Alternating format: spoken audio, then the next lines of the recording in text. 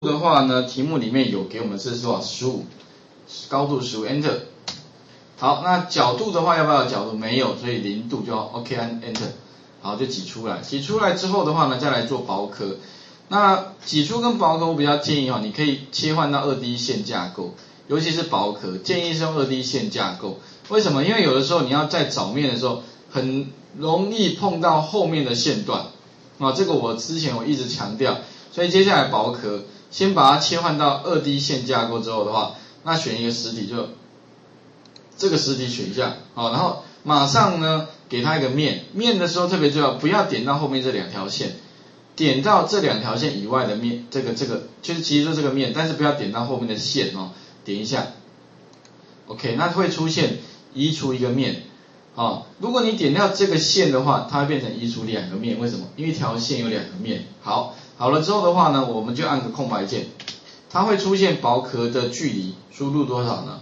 五，Enter。好，那这样的话呢，我们再切到这个概念的这个形式啊，来看一下啊，如果里面呢也有被挖空，你按 Shift 键呢把它转一下，看一下里面呢也挖空的话，那表示说你这个地方没有问题啊，已经挖空了。好的话呢，再切换到东啊东南等角，OK。好，切到东南等角之后的话呢，底下哈会有啊六个这个角，那角的部分呢其实也蛮好做的啊，因为它是在那个 x y 平面啊，所以你其实阵列的部分你可以直接从 x y 这个地方哈去做阵列就好。那首先的话，我们先把这个这底部哈先画出来，那底部的部分的话用画圆的就可以了。从这个端点外面多少呢？外面是十六，Enter 对不对哈？然后再来的话呢，再按空白键。在这个端点上面点一下，那里面这个地方是吧？十六加，再来就八。